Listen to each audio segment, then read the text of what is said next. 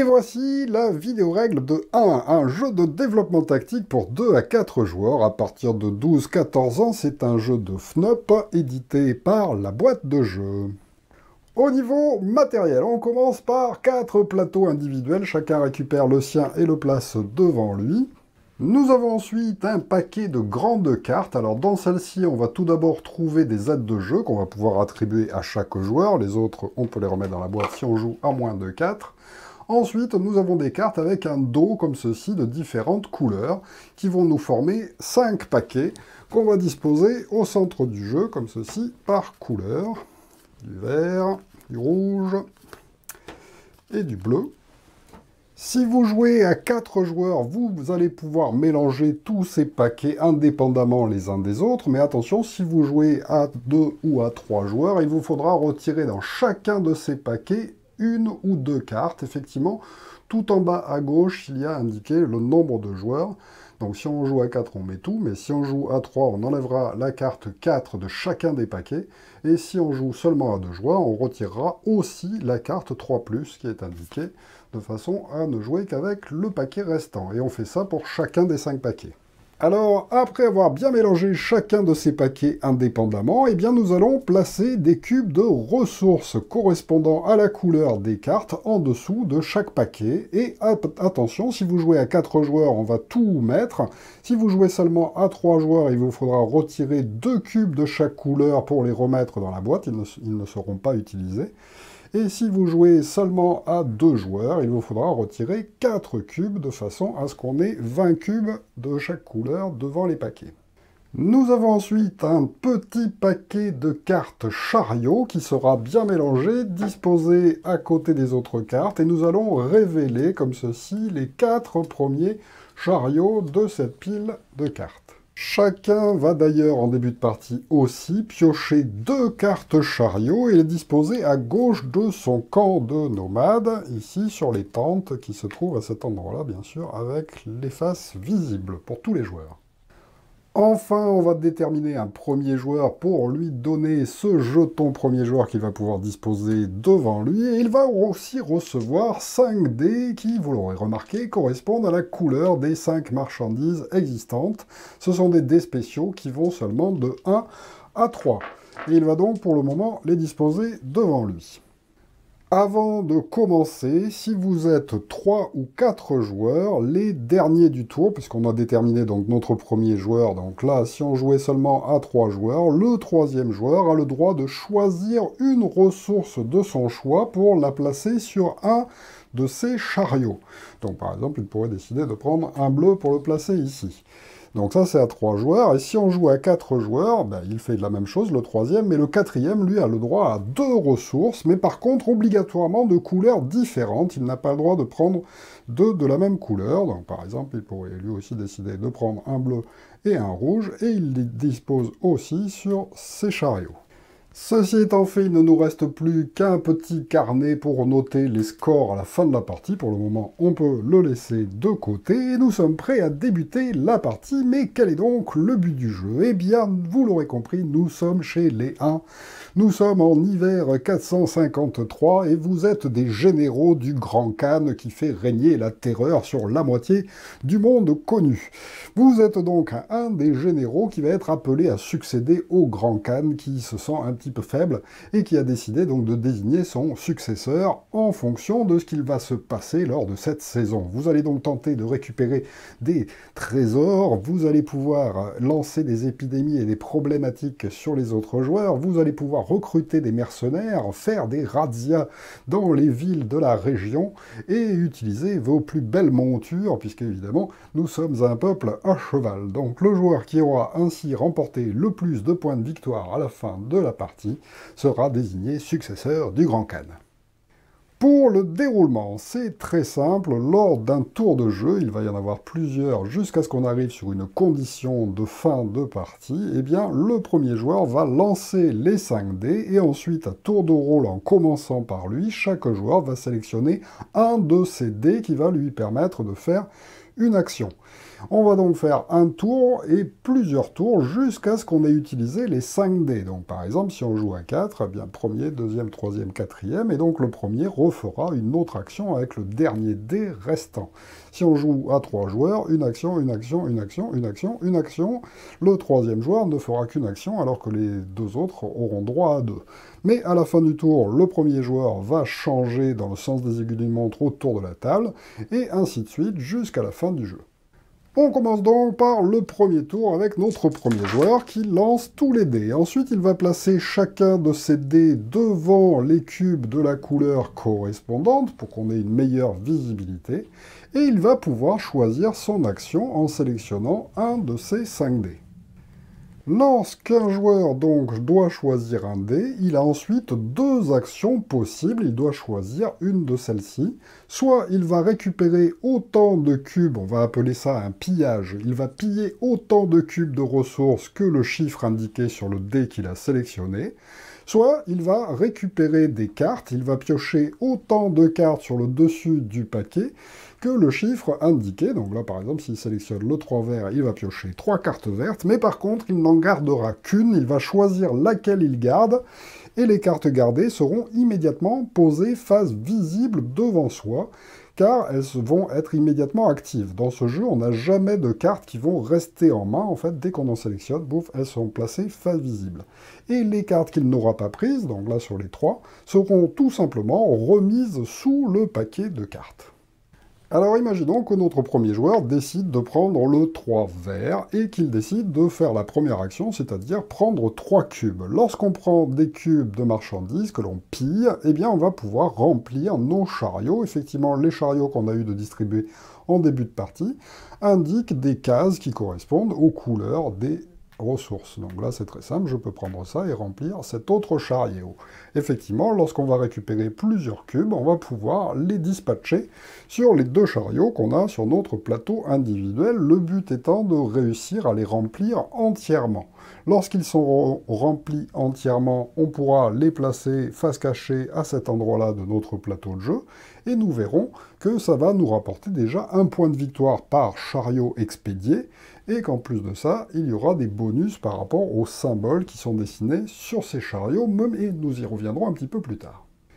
Imaginons donc que ce soit autour du joueur suivant, celui-ci sélectionne celui-là, pof, et il n'a pas envie de prendre des cubes, il a envie de prendre des cartes. Donc à ce moment-là, comme c'est un 2 jaune, eh bien il va récupérer deux cartes sur le dessus du paquet. Il va pouvoir les consulter évidemment secrètement sans les montrer aux autres joueurs, et chacune des couleurs de cartes correspond à quelque chose de spécial. Alors pour l'instant, pour les cartes jaunes, puisque nous allons voir ça, ce sont des cartes de richesse. Ensuite, elles n'ont pas d'effets qui vont être utilisés pendant la partie, mais par contre, en fin de partie, elles nous rapporteront des points de victoire supplémentaires par rapport au petit symbole qui est indiqué ici. Alors quand c'est un cercle noir comme ceci, ça veut dire en fin de partie, et donc, il suffit de lire ce qui est marqué dessus. Donc là, par exemple, à la fin de la partie, gagnez un point de victoire par joueur si vous avez le plus grand nombre de richesses sur vos cartes mercenaires. Alors oui, attention, ça c'est des cartes trésors, hein, je me suis trompé, les richesses, c'est les cubes.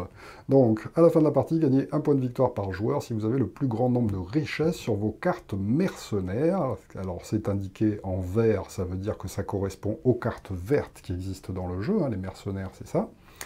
Euh, et fléau strictement ou à égalité. Donc fléau, c'est indiqué en gris, effectivement, ça correspond au noir qui est ici. Donc voilà, les cartes sont assez bien faites et assez précises. Donc si je décide de garder ça, eh bien ça voudra dire que je vais tenter d'avoir le plus de mercenaires possible et le plus de fléaux. Si je suis à égalité avec un autre joueur, eh bien je marquerai quand même les points indiqués, c'est-à-dire un point de victoire par joueur. Donc là, vu que je fais un exemple à 4 joueurs, ça me rapportera 4 points donc notre joueur choisit parmi les deux cartes, hein, je ne vais pas lire l'autre, mais évidemment on lit les cartes, on choisit celle qu'on décide de prendre, et on va la placer tout simplement face visible devant soi, de façon à ce que tous les joueurs puissent la consulter, et le mieux c'est de lire à tout le monde ce qu'elle fait pour qu'on sache un petit peu à quoi s'attendre. L'autre carte sera disposée face cachée sous le paquet de cartes où je l'ai pioché, puisqu'effectivement, quelle que soit la valeur indiquée sur le dé, ça me permet de piocher des cartes, mais je n'en récupère qu'une seule. On passe alors au joueur suivant qui pourrait par exemple décider de prendre le 1 noir et lui aussi de piocher des cartes. Alors attention, lorsqu'il y a un 1 sur le dé et qu'on décide de piocher des cartes, et eh bien évidemment on ne peut en piocher qu'une et on va être obligé de la jouer puisqu'on est obligé de jouer une des cartes que l'on pioche. Donc une, c'est un peu un risque, je ne sais pas du tout sur quoi je vais tomber. Mais il prend quand même le dé, et puis il décide de jouer ceci. Alors les cartes noires sont des cartes de fléau. Ça va être des cartes pour embêter les autres joueurs, et exceptionnellement, au lieu de la poser dans son propre camp, on va la poser dans le camp d'un autre joueur. Donc là, par exemple, sabotage pernicieux, vous avez un chariot de moins à remplir. Si vous avez un chariot vide, défaussez-le. Sinon, ne remplacez pas le prochain chariot expédié. Donc en fait, je choisis un joueur de mon choix, donc en général celui que je pense qu'il est en train de gagner, et je lui pose cette carte en tant que pénalité devant lui. Donc ce joueur pourrait dire, bon ben toi, avec le trésor que tu as récupéré, euh, tiens, ben, je vais te coller ça, donc comme ça, ça va te faire une grosse pénalité, puisque tu ne vas plus te retrouver qu'avec un seul chariot à remplir plutôt que deux. Mais attention à ce moment-là où un joueur nous donne une carte de fléau, on peut décider, si on le souhaite, de refuser ce fléau et de dire non, je, moi j'en veux pas, c'est vraiment trop méchant, je fais l'impasse. Si on désire faire l'impasse, à ce moment-là, on va tout simplement retourner face cachée cette carte, mais on va la garder quand même. Et attention, chaque fléau qui sera ainsi fui nous fera perdre autant de points qu'il y a de joueurs autour de la table en fin de partie. Donc là, dans une partie à 4, ça me fera quand même moins 4 points de victoire. Donc euh, voilà, à réfléchir quand même si on décide vraiment de faire ça. Donc là, mon joueur pourrait se dire, maintenant je ne vais pas me pénaliser de suite avec 4 points de victoire en moins, tant pis, je vais prendre le fléau. Comme indiqué dessus, je dois choisir un de mes chariots vides, si j'en ai un, pour le défausser et le remettre sous la pile de cartes chariot. Donc du coup, je n'ai plus qu'un seul chariot à remplir, pas de chance. On poursuit donc le tour par notre quatrième joueur qui pourrait par exemple décider de prendre le rouge et lui aussi de piocher des cartes rouges. Alors les cartes rouges sont des cartes de razzia, ça va être des cartes qui vont en général embêter les autres joueurs mais ça va être un effet temporaire qui ne va se déclencher qu'une seule fois. Alors déjà, chacune de ces cartes rapporte un point de victoire en fin de partie. Un seul point. Là, c'est pas un point par joueur autour de la table, c'est un seul point, mais bon, c'est déjà ça de prix. C'est assez intéressant. Je choisis donc une des deux cartes là que j'ai piochées, je défausse l'autre sous le paquet, sans la montrer aux autres joueurs, hein, bien sûr. Par contre, on les lit secrètement, on choisit celle qu'on veut, et on ne lit que celle que l'on décide de garder. Et là, il y a indiqué, par exemple, piller une richesse de votre choix dans un chariot de chaque adversaire. Alors attention, ces effets sont déclenchables au moment que l'on veut, c'est-à-dire pas forcément maintenant. Cette carte, je vais tout simplement la disposer pour le moment face visible devant moi. Je la lis à tout le monde, que les autres sachent à quoi s'attendre. Et quand je le voudrais plus tard dans la partie, ou de suite si je veux, je pourrais incliner cette carte pour montrer que je l'utilise et ainsi effectuer son effet. Par contre, je ne pourrai le faire qu'une seule fois de toute la partie, donc logiquement, il sera ensuite impossible de la redresser pour la refaire plus tard. Il faut donc choisir le bon moment pour la faire, mais voilà, ça fout un petit peu la pression aux autres joueurs. Donc ici, dans notre exemple à 4 joueurs, tout le monde a fait une action, il reste encore un dé, donc c'est à nouveau le premier joueur qui va pouvoir récupérer ce dé et choisir s'il prend un cube bleu ou s'il prend une carte bleue qu'il va effectuer. Donc on va continuer sur l'explication des cartes. Les cartes bleues sont, sont des cartes d'équipement, donc euh, vont correspondre à des objets qui vont avoir un bonus qu'on va pouvoir en général utiliser tout le temps. Donc là par exemple, un chaudron sacré, c'est indiqué dessus. Après avoir choisi votre dé, vous pouvez le relancer avant de choisir votre action. Alors le petit symbole qui est dessiné en bas ici, comme il y a une flèche euh, verte vers la gauche, ça voudra dire que je pourrais le faire à chaque début de tour. Donc là par exemple je ne peux pas l'utiliser puisqu'on arrive à la fin de mon tour. Mais ce sera donc au moment où, après avoir choisi votre dé, c'est indiqué, j'aurai le droit de le relancer, donc ça peut être très très sympa. Donc cette carte-là, bah, pareil, je la lis à tout le monde, je la pose face visible devant moi, et à partir du prochain tour, je pourrai l'utiliser tout le temps. Car, contrairement aux cartes rouges, c'est un effet permanent, donc euh, c'est vraiment très très sympa. Tous les dés ont donc été utilisés. On passe tout simplement le petit euh, marqueur de premier joueur au joueur suivant dans le sens des aiguilles d'une montre, et celui-ci récupère l'intégralité des dés. Il va pouvoir les relancer, les replacer devant chaque endroit pour qu'on visualise bien. Et c'est reparti, c'est à lui de choisir l'action de son choix. Alors, reparlons des fléaux. Effectivement, quelqu'un lui a mis un fléau devant lui, et donc, malheureusement, eh bien, normalement, il n'a plus qu'un seul chariot, donc ça va être un petit peu embêtant, et s'il a envie de revenir à la normale, eh bien, heureusement, on va pouvoir essayer de contrer les cartes de fléau. Effectivement, elle présente des emplacements de cubes. Alors c'est en noir puisque la carte fléau est noire, mais attention, contrairement au chariot, ça ne correspond pas à une ressource noire, ça correspond à n'importe quelle ressource. Donc là, notre joueur, lors de son tour, pourrait décider de prendre le cube de jaune pour prendre deux cubes jaunes et les placer sur cette carte fléau. Une fois qu'elle sera entièrement remplie de cubes, eh bien, elle sera annulée. Attention, lorsqu'on décide de prendre des cubes comme ceci pour les placer sur une carte fléau, ou sur une autre carte d'ailleurs, on ne peut les mettre que sur cette carte. Il sera interdit de dispatcher en fait ces cubes entre la carte et des chariots par exemple.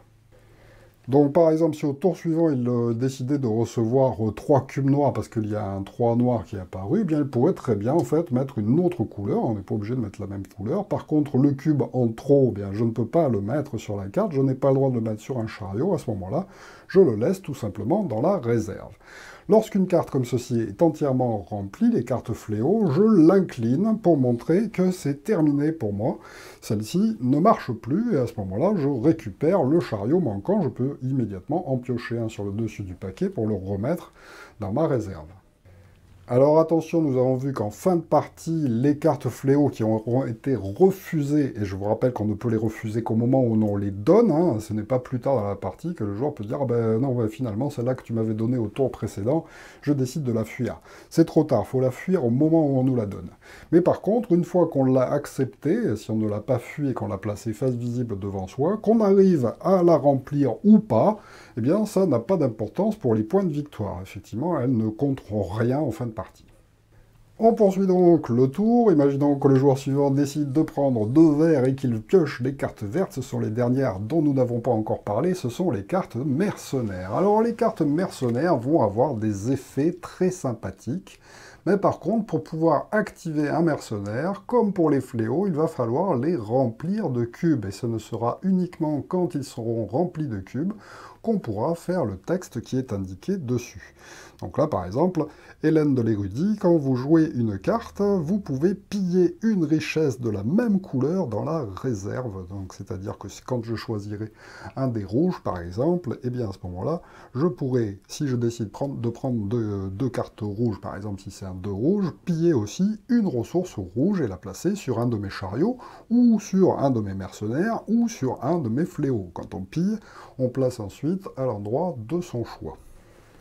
Attention cependant en fin de partie, si on a réussi à entièrement remplir son mercenaire, on marquera un point de victoire. En revanche, si en fin de partie je ne l'ai pas entièrement rempli, j'aurai moins un point de victoire. Voilà pourquoi il faut mieux choisir les mercenaires en début de partie plutôt que lorsque ça s'approche de la fin et qu'on n'aura pas le temps de les remplir. Donc attention, hein, il y a des effets qui peuvent se déclencher. Alors ça, quand c'est en bleu, ça veut dire à n'importe quel moment pendant son tour. Et euh, que je vous l'ai déjà montré, lorsqu'il a la petite flèche verte vers le début, ça voudra dire en début de tour. S'il y a une flèche rouge, euh, à l'inverse, vers la droite, ça voudra dire en fin de tour. Donc là, mon joueur pourrait décider de récupérer cette carte-là, de la placer face visible devant lui. Il la lit à tout le monde, mais pour l'instant, elle n'est pas effective tant qu'il n'aura pas, tant qu'il ne l'aura pas rempli de cubes. Il remet l'autre sous le paquet et on passe au tour du jour suivant. Et la partie se poursuit ainsi. Je pense que vous avez compris maintenant le principe général, avec évidemment pas mal de choix lors de chaque tour. Donc là, par exemple, c'est à nouveau à ce joueur de jouer. Alors il ne reste que 2 dés. Est-ce que je prends 2 dés rouges pour les placer sur les deux cases rouges de ce chariot et ainsi l'avancer petit à petit, car ça va quand même rapporter des points d'essayer de récupérer des chariots Ou est-ce que je décide de récupérer euh, deux cubes noirs pour les placer à cet endroit-là? À moins que les cartes noires, ce soient euh, des cartes fléau. Donc, euh, est-ce que je mets un fléau sur quelqu'un Parce que je pense qu'il y a quelqu'un qui est en train de prendre un petit peu d'avance? Donc, évidemment, en général, on embête les autres joueurs. Ou est-ce que je prends deux cartes pillage en sachant que ça me donnera une action Enfin, déjà, ça me rapportera un point de victoire, ça c'est sûr, donc c'est-à-dire autant que si j'arrive à expédier un chariot, et là seulement avec un seul dé, donc déjà c'est sympathique. Et en plus de ça, ça me donnera un pouvoir unique à pouvoir faire contre un autre joueur, donc ça peut être sympathique aussi. Et puis en plus, il faut bien sûr regarder toutes les capacités spéciales des cartes que l'on récupère, puisqu'évidemment, au fur et à mesure du jeu, on va avoir de plus en plus de cartes, les autres joueurs aussi, donc il faut essayer de se bâtir des stratégies si possible. Là, ça me permet de relancer mon dé après l'avoir choisi. Donc là, par exemple, je pourrais me dire, bon, j'ai du rouge, euh, j'ai besoin de 3 cubes rouges pour remplir mes chariots, donc je pourrais décider de récupérer le rouge, mais est-ce que je le relance pour tenter d'avoir 3 mais le problème, c'est que je risque de tomber sur 1. Bon, allez, tant pis, j'ai envie d'utiliser mon chariot sacré, euh, je, le tente, et ben voilà, avec la chance habituelle que j'ai, je ne récupère qu'un seul cube rouge que je place ici à moins que, comme c'est indiqué dessus, c'est avant de choisir son action, donc finalement, au lieu de prendre un, bah, tant pis, je préfère prendre une carte rouge au hasard, à la fin de votre tour, désigner un adversaire et relancer votre dé, piller dans ses chariots autant de richesses que de votre choix, que la valeur obtenue, donc elles seront même pas forcément de la couleur euh, du dé que j'ai récupéré dans ce tour. voilà, ça peut être sympathique, et puis ça embête un autre joueur, en même temps ça me fait gagner un point de victoire. Alors reparlons de l'expédition des chariots. Lorsque je vais récupérer des cubes qui me permettent de terminer un chariot, donc là par exemple je récupère deux cubes rouges, je peux les mettre là en attendant, hop j'en remplis un et ça me permet d'envoyer immédiatement un chariot puisque j'ai fini de le remplir. Avant même de placer mon deuxième cube, je peux l'expédier. À ce moment-là, toutes les richesses qui se trouvent à l'intérieur, je vais tout simplement les placer dans cet enclos de notre plateau de jeu personnel, ils ne reviennent pas dans la réserve générale, et j'expédie ce chariot que je vais placer face cachée sur cet emplacement-là, et donc petit à petit, boum boum boum, j'accumule les cartes chariot. Alors évidemment, je peux les consulter moi à tout moment secrètement, mais les autres joueurs ne sont pas forcés de se rappeler de ce que j'ai fait. Dès que j'ai comme ceci expédié, je vais pouvoir choisir un nouveau chariot parmi les quatre qui sont sur la table, ou bien, s'ils ne me plaisent pas, je peux tenter au hasard de récupérer le chariot du dessus du paquet que l'on a placé à côté. en général, on choisit plutôt euh, quelque chose qui nous intéresse, car nous allons voir qu'il va y avoir des points en plus avec les symboles. Je récupère ce chariot, on le remplace immédiatement par un nouveau tiré de la pioche, que je place à cet endroit-là. Et s'il me reste des cubes que je venais de récupérer pour finir un des chariots, donc là par exemple il m'en reste un, eh bien je peux très bien le poser sur le nouveau chariot que je viens de prendre à peine pendant ce tour. Voilà pourquoi on peut anticiper avec les chariots visibles. Si je récupère trois par exemple de la même couleur, je peux me dire, ben, toc, je vais finir ce chariot, et puis comme ça je vais pouvoir commencer à nouveau. Mais bon, dans cet exemple, j'aurais peut-être mieux fait quand même de faire ça, car il me restera plus qu'un cube rouge à placer pour finir ce deuxième chariot. Et la partie va donc ainsi se poursuivre de manche en manche jusqu'à ce qu'on enlève tous les cubes d'une couleur, ou bien jusqu'à ce qu'on vide un des paquets de cartes. Donc là par exemple, imaginons que ce soit un joueur, il récupère ça, il prend les deux derniers cubes rouges, et bien ça indique la fin de partie, mais on va quand même finir le tour en cours, donc c'est-à-dire que le joueur suivant, comme il reste un dé, on va quand même utiliser tous les dés restants avec ce qu'on peut, et donc, il se déroulera la même chose si un joueur récupère la dernière carte et la joue. Bien entendu, hein. si jamais il y avait eu deux cartes par exemple et qu'il avait fait un 2, il aurait récupéré les deux cartes, il en choisit une, mais l'autre il la remet sous le paquet, même s'il n'y a plus de paquet, elle revient, et donc ce n'est pas la fin de partie. Ce sera vraiment que quand on joue la dernière carte et qu'un paquet est vidé. On passe alors au décompte final. Alors on peut prendre le petit carnet qui est prévu à cet effet, marquer le prénom des joueurs en haut, et puis c'est parti. Alors rouge, ça va correspondre au Radia. Je vous l'ai dit, chaque carte Radia nous rapporte un point de victoire en fin de partie, qu'elle été utilisée ou non. Donc là j'en ai deux, une utilisée, une pas utilisée. Ça me fera deux points de victoire. Ensuite, nous avons les points pour les mercenaires. Nous l'avons vu, les mercenaires qui sont entièrement remplis en fin de partie nous rapportent un point. Les mercenaires dont il reste encore des cases à remplir, malheureusement, nous font perdre des points. Donc là, j'ai plus 1, moins 1, 0 bah, du coup pour les mercenaires. Ensuite, il y a les trésors. Alors, je crois que j'ai dit une bêtise tout à l'heure. Hein. Pour les trésors, on gagne un point de victoire par joueur autour de la table, à condition qu'on ait réussi à faire la condition qui est indiquée dessus. Ce n'est pas euh, déjà ces points, plus euh, encore ces points si on arrive à la condition. En fait, on ne gagne des points que si on arrive aux conditions qui sont indiquées. Donc là, par exemple, à la fin de la partie, gagnez un point de victoire par joueur si vous avez le plus grand nombre de cartes trésors, celles-ci incluses strictement ou à égalité. Donc là, comme j'ai deux cartes trésor, je regarde si les autres joueurs ont aussi deux cartes ou, plus de deux cartes ou moins de deux cartes. Et si euh, j'ai deux cartes et que je suis celui qui en a le plus ou qu'on est à égalité avec d'autres joueurs, je gagne bien, mais un point de victoire par joueur, ici, plus 4. Imaginons que je n'ai pas réussi à faire le deuxième, eh bien ça me fait plus 4, mais on n'a pas de point négatif en revanche si on n'a pas réussi à faire l'objectif. Ensuite, ce sont les fléaux. Donc les fléaux, je vous l'ai dit, si vous avez des cartes face visibles de fléaux devant vous, qu'elles soient ou non remplies de cubes, on s'en fiche, ça ne fait pas perdre de points. En revanche, par contre, chaque carte fléau que vous avez fui lorsque quelqu'un vous l'a donné, vous fait perdre un point de victoire par joueur autour de la table. Donc ici, par exemple, moins 4.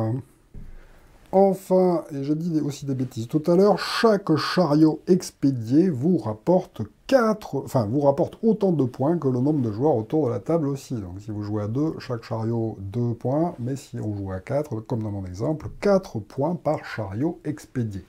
Donc c'est quand même bien payé, je crois que j'ai dit que c'était que 1 point tout à l'heure. Donc là, 1, 2, 3, 4, 5, 6, 7 chariots expédiés, 4 x 7, 28, je marque donc 28 points. Attention, les chariots qui ne sont pas finis et qui sont ici ne rapportent rien. Mais en plus de ça, les chariots vont nous donner des bonus avec les symboles qui sont dessinés dessus. Effectivement, il y a plusieurs types de symboles différents. Donc là, par exemple, je peux les classer par symbole et couleur pour savoir combien j'en ai de chaque. Et chacun va choisir son bonus. Alors soit ce sera un bonus par rapport aux symboles différents que j'ai expédiés. Donc là par exemple j'ai quatre types de symboles différents expédiés. Donc je peux compter un point par symbole différent, donc ça me fera plus 4.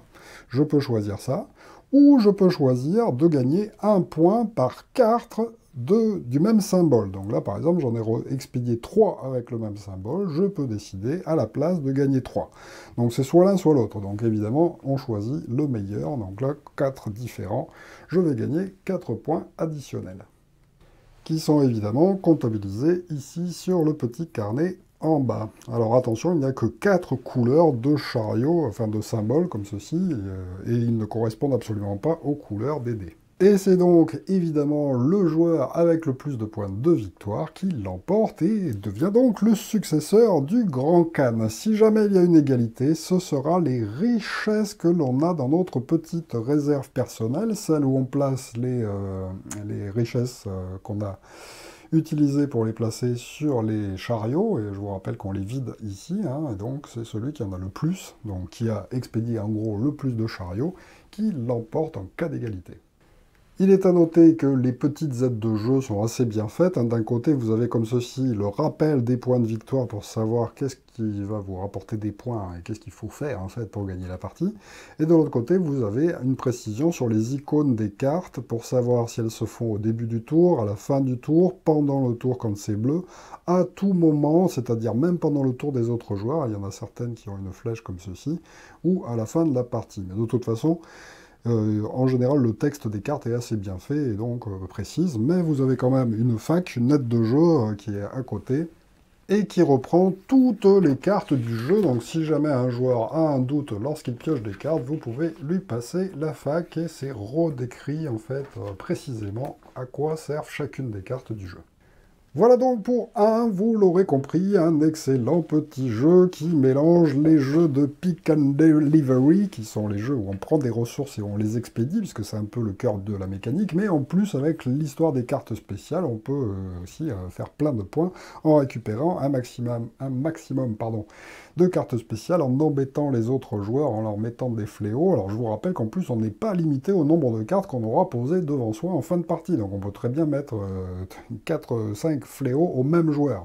Voilà pourquoi aussi c'est un jeu un petit peu euh, attentiste en fait. si vous si vous prenez trop d'avance trop vite, les autres joueurs peuvent discuter entre eux pour vous placer des fléaux sur la tête, évidemment si vous jouez à plus de 2, puisqu'à 2 ça se transforme en jeu d'affrontement, et donc euh, les tactiques sont un peu moins, riches en fait qu'à partir de 3, où on peut influencer aussi les autres joueurs en leur disant « Oh là là, regarde, c'est lui qui est en train de gagner, euh, si tu lui mets pas un fléau, etc.